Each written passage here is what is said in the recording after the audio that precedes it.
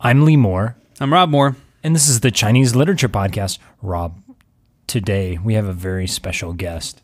a celebrity, someone who has had direct influence on our lives for eight years now. Well, me eight years, you less than eight years. I'm speaking of Professor Roy Chan, University of Oregon, late my dissertation chair, but he is no longer my dissertation chair because I'm done, so I can talk all the smack about him that I want now. Uh, Professor Chan, thanks for being here today.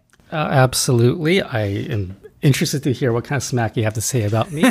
uh, I'm really glad to have this chance to be a guest on your podcast because, as you've just mentioned, uh, Rob just graduated and uh, is going to be moving soon. So I thought it'd be really nice for us to be able to have this chance to kind of talk about the things we love reading. And, and certainly, uh, reading Lu Xun is a, is a great place to, to, to kind of spend some time on. Yeah, it's it's actually really neat talking about Lu Xun now because in a lot of ways, Lu Xun is how I started my Chinese literary journey, modern one anyway. Especially reading, I think uh, the the True Story of Akyu is the first Chinese novel I read all the way through, novella. Kong Yiji for me. And it's nice having Roy here because Roy is An expert. he's an expert. And he's also one of the few people who has been doing Lu Xun for a long time. Am I right, Roy, that Lu Xun isn't the cool writer to talk about necessarily in the American Academy, right? I think maybe things are changing. Um, absolutely, Julia Lovell's recent translation of Lu Xun, published by Penguin, created a new kind of readership for Lu Xun. Um, but I think for a while there was a sense in the American Academy, at least, that Lu Xun was passe. Uh, certainly, Lu Xun's association with the CCP, with the Maoist establishment that deified Lu Xun as kind of the patron saint of Chinese literature, uh, didn't do him a lot of favors in places like America or Taiwan. Uh, and really, it wasn't until the 80s and 90s where we could look at Lu Xun afresh and kind of see the ways in which he was not overdetermined by the later CCP establishment that tried to kind of mold him in a certain way.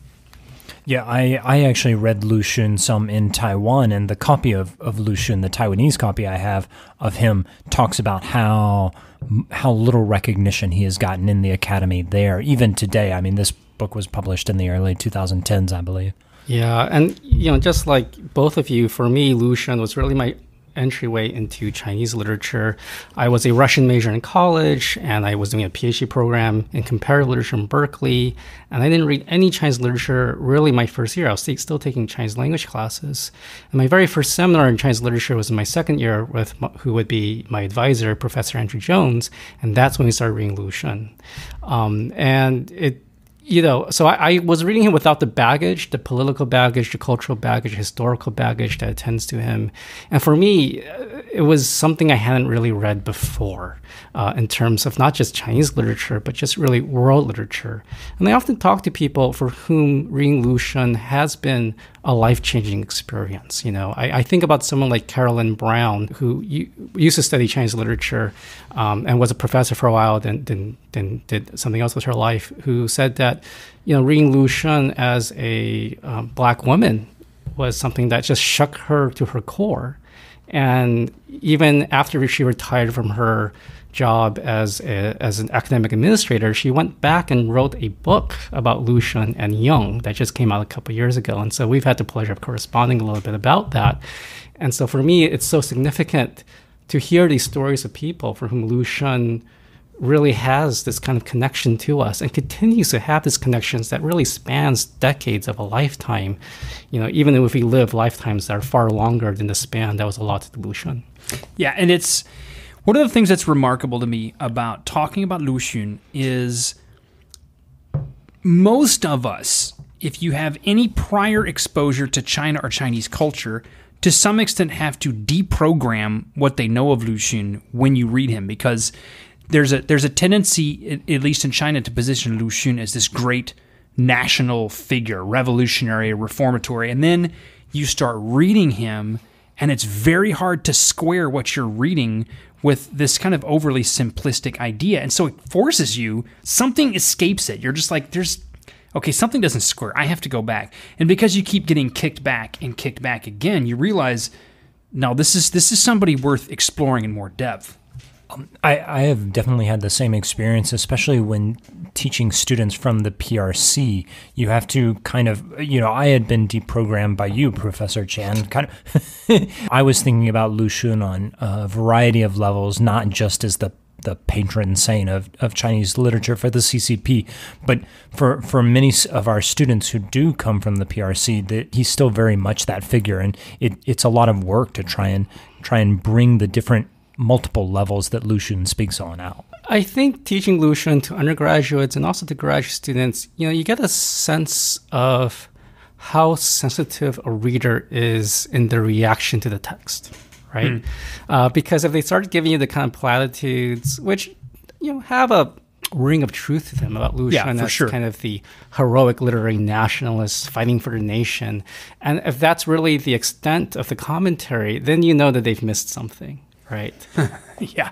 And in fact, this is a good place actually to jump in because we are going to be talking today about possibly the most discussed passage that Lu Xun ever wrote, or at least most discussed section, which is his preface or introduction to the collection War Cry Nahan, which was a, a collection of a lot of the stuff he had, had published previously, but uh, in the early 20s.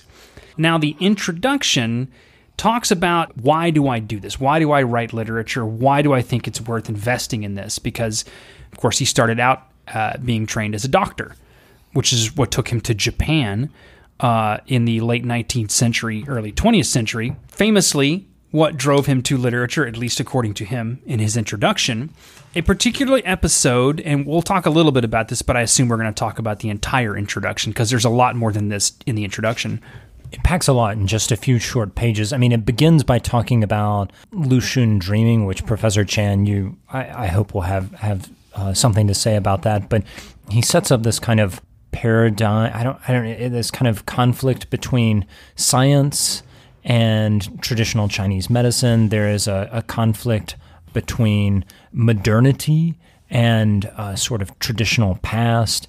There's a conflict between Japan and China. There's there are all these different interesting conflicts and tensions that that kind of reign over the text. Professor Chan, what do you see as the most important part of the the preface? So let's start with the title, 自序, which can be translated as self-preface or autobiographical preface. Now, anyone who's read Lu Xun for a while, especially this mature work from 1920 on, knows that there's that's probably meant to be taken ironically. 自序, right? This is an account of oneself, an account of one comes to write. And on a superficial level, yes, it is that. But once you start getting into it, you start to wonder is it? Does he really ever compose an account of his authorship, how he became an author? And in fact, when you start reading this text from the beginning to the end, what you see really is not the establishment of Lu Xun, the author, but really this equivocation of what it means to take on the burden, to take on the venture of becoming an author. And it asks the question of, you know, I'm a child of the 90s, so listening to Eminem will the real Lu Xun please stand up? like, when does Lu Xun begin in this yeah. preface exactly? When it, does it begin when he's a child trying to save his father? Does it begin when he's in Japan? Does it begin when he's a loner in the Shaoxing Hostel in Beijing? Does it begin when he's writing for New Youth? There's no real beginning and no real end to this piece. And remember when this is written. This is written after he's finished the stories that would become Nahan, right? So those are stories written between 1918 or so and 1921 collected as a book, and only after the fact is he saying, Why have I done what I've done? And that's what this is. It's why am I doing this? Why have I committed this this this this foolhardy sin, crime of writing literature? So at this point he's famous. He's gone from being a nobody in 1917 doing some translation work and, and kind of a couple of other things to, to being a, the closest thing to a literary hero that that China at this point has, and he's looking back on how he came to that point. Uh, Professor Chan is, I mean, there are, there are questions as to how um, historical his account is, right? Mm-hmm. Yeah, I mean, there's questions about what exactly happened in a Japanese classroom. Uh, what was the image that he saw? Was a sword involved? Was a gun involved? This is the the image you're speaking of is the execution of a Chinese person for spying for the the Russians. Russians. Yes, uh, the lantern slide incident. That is this key turning point that you know everyone talks about. That's taught in classrooms where he decides that oh, the Chinese nation is not a nation because of the numbness, uh, the the lack of feeling, the lack of sympathy of the spectators watching one of their countrymen, and of course the very idea of one of our countrymen. He says, you know, uh, 我们的中国人. That's a speculative proposition. Is there such thing as Chinese people at that time? That's the whole point of literature is to create the people through literature uh, in order to kind of heal their spirits rather than their bodies. Uh, absolutely, is that that scene um, that that kind of becomes a kind of climactic point in this narrative of origins but it's a climax that is uh, frustrated and evacuated just as instantly within the next paragraph, right? Because th- this is 1904, 1905, and the attempt to kind of create a new literature falls flat on its face. Right. And that brings me to this kind of, you know, for, for someone, Lee, that you just said, who was well known by 1922, why is this text so much about failure? His inability um, not just to become an author, but to exercise any kind of true self determination. Because it begins with this. With him trying to save his father, uh, shuttling between the pawn shop and the uh, and the herbal pharmacy, and you know, remember he's like three years old, four years old. Uh, his head doesn't even reach the top of the counter. It's a visceral image of powerlessness. That's mm-hmm. that's the emphasis, right? And, and what is he being tasked to do? The responsibility of saving his father. I always talk about this moment to my undergraduates because this is such a vulnerable moment, a traumatizing moment for, for a kid who is tasked with the the responsibility of trying to save his father and it fails right and this kind of leads him into kind of his, his forays into science into literature um, but each and every single time um, there's a kind of failure that happens and of course the most traumatizing failure is not the death of his father it's the failure of him to become the author of his dreams in 1905 in japan when he quits medical school and they tried to create this new literary magazine in tokyo called uh, New Life or Xinsheng, right? Um, but what happens is that uh, a financial backer, you know, draws out. Uh, they lose all their funding, and and the term in, in Chinese, of course, is that um, it became a stillbirth, right? Uh, so in, in the text it says that this was the stillbirth of our new life, the title of the magazine, right? So, so this image of the stillbirth, that the baby who was never born, uh, is, is a really kind of uh, affecting kind of image. And one of the things to remember about in, in, when he's in Japan, he starts reading lots of romantic poetry. He starts reading lots of Nietzsche, and he writes this essay about what he calls Mara poetry, uh-huh. where he gives this history of all these romantic poets from Byron to Shelley to Pushkin to Mickiewicz. And he's talking about how they summon the dark powers of Mara, uh, which is kind of like Satan. So Satan did appear, does appear. In our oh, podcast. there you, you go. Thank Satan you. Was, Satan does appear. Thank you. We had a, this was a this was a joke occurring before the podcast. We may get to that later. Yeah, so he's gonna summon these kind of dark forces in order to make the world anew through poetic address, right? So this is a an odd combination of romantic uh, uh, uh, romanticism, but also Nietzsche's ideas of the trans of, of, of the Übermensch, the overman, who through sheer will upends all of the slave morality, the values of the existing society in this Dionysian revel of creativity. And Lu Xun's implication in this essay from 1904-1905 in this Japan parade is that I'm the next Byron. I'm it.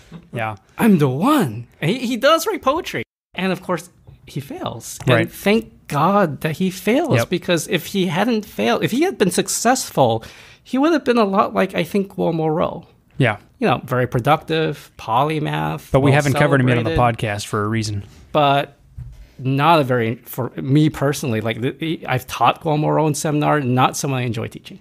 You know, that's a, a great thing for Rob and me to remember is that failure is sometimes the route to success because you and I have had plenty of failure. Oh, yeah.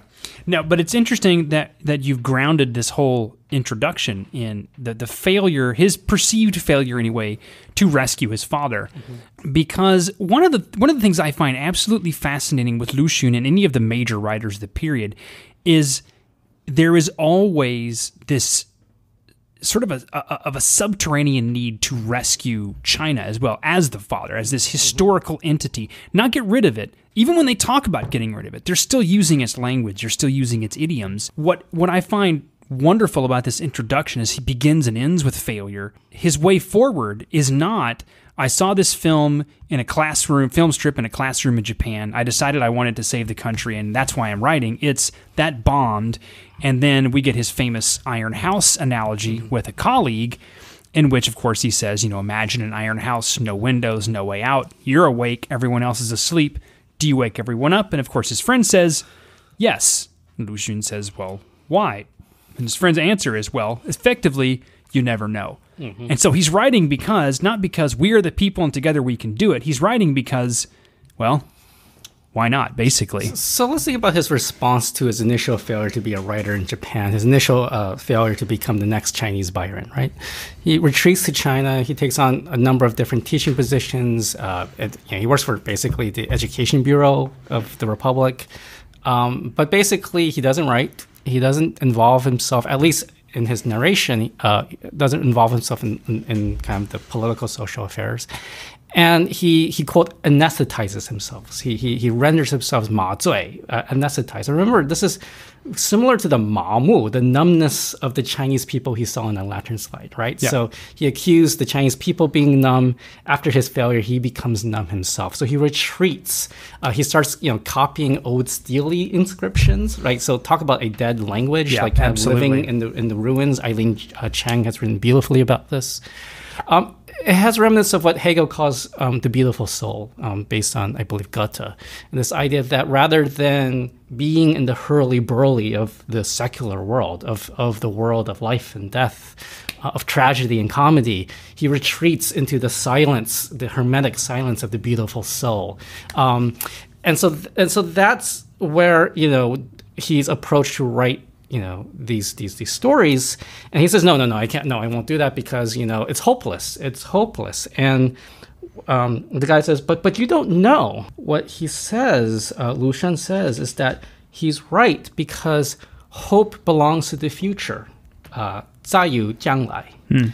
it's a spatial metaphor it's 在于 it's in the future it's just Physically, out of reach yeah. mm-hmm. just in the same way that the money and the herbal medicine was just out of reach in the pawn shop Right. in the herbal medicine. This is an important thing because what he realizes was that his denial of hope that w- was committing the same error as him claiming that he was the next Byron. Hmm. It's about self-determination Yeah. either positive or negative. Yeah. Either I will be the Byron or I will be nothing. Hmm. And those are the two choices. You're a Byron or you are nothing. Right. And what he figures out in that moment with this editor, it's probably Chen Duxiu, mm-hmm. I think he's referring to, is that it's a new way of conceiving of authorship, an authorship that is ventured, that is risked, but is not a bid for self determination, not a bid for control or mastery. It is a surrender. So he's moving beyond this kind of romantic Ubermensch notion and and coming to a sort of, I mean, it, it's almost a different philosophical register. Is that Absolutely. Um, you know, I'm giving a conference paper in a couple of weeks where I'm trying to argue that in some ways the later Lu Xun is more like a Hegelian than a Nietzschean. Um, I, I sent you a copy, Rob, Yeah, of that. I don't know if you read that yet. Um, but um, I don't know how that's going to be received. Um, but yes, what he, what he sees. Now the thing is that that that moment of the romantic moment is absolutely necessary. Uh, is absolutely necessary. He he absolutely has to go through that education of hubris, that education of I think I know what I'm doing as a young 20 year old, you know, making out his way in the world, in order to become the 40 year old who is the great writer we know today. Right? Life begins at 40, not at 20. right. Uh, a lesson for all of us in this room. So true. It's so true. Yeah, and so I think that is kind of the the harder message to teach to 19 year olds undergraduates because that doesn't make a lot of sense. They're they're young, right? They want to believe in either everything's hopeful, so they're very optimistic, or they're totally goth and everything's hopeless, right? Right. And what Lu Xun is saying is no, it, there is an equivocal middle between the two that we must constantly dwell in. And that is where I shall dwell as an author. So he's not saying, I reject any and all authorship. What he's rejecting is that his authorship necessarily arrogates a certain kind of cultural moral authority. He's saying, no, that is not in my hands my authorship is something that I give to the world. Can I ask, is is he being ironic there? Because I mean, he's saying this after he is very successful, right? Like I, I didn't I didn't know if if we should take that seriously or how seriously we should take it, or is he saying it both on the level that is is serious and and also simultaneously kind of not serious? Well, I wanted to jump in there too because one of the, the amazing things this introduction does is it poses the question what do you even mean by success? Because I thought I was going to be success twice, and both times I failed. And so at this point, I no longer think in those terms. So I don't read it as ironic, but not because not because he's not a success, but because that term doesn't really have any meaning anymore. Mm-hmm. When you wanted to save your father and you failed, then you wanted to be a revolutionary and you failed. Now you're a writer. What does that even mean? And so to put it that that bluntly is actually a pretty daring way to start a collection of your own stories. yeah, and that's what makes the zi in Zixu so ironic. Who is the zi, right? Who is Lu Xun, Zhou whatever you name him, right? Um, and I think, you know, uh, I've been working a lot with the British philosopher Gillian Rose lately. Um, for some reason, during this pandemic lockdown, she came in a moment of crisis for me personally in the last year and has really illuminated a lot of things that I've been kind of circling around, but hadn't really found the ways to think about this. So a lot of my new thinking has been as a, as a result of Gillian Rose's rereading of Hegel. Um, but you know, she talks about the anxiety of authorship, right? That authorship always begins in equivocation. When does one start? How does one start?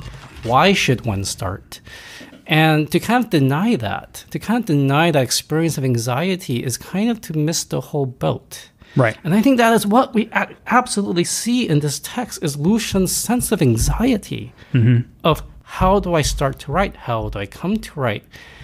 And in many ways, enveloping and embracing this as part of his authorship. Like he's not going to deny this anymore. He is not the Übermensch poet who's going to speak truths in a in an apostrophic style. He is going to take orders once in a while. Yeah. He's going to let people tell him what to change. You hey, know? you should write an article. All right, fine. Yeah. You should change his ending and make it more positive. And right. you know, and this is one of the more problematic moments. Like, you know, how can Lu Xun sell out and ch- literally change endings uh, of his stories because the editors say so?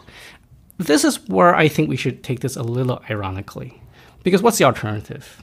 The alternative is for him to say, I comp- I do not compromise. I write what I know, and I copy down bland steles you in know, a friend's garden for no reason. You know, uh, yeah, uh, you know, my way or the highway.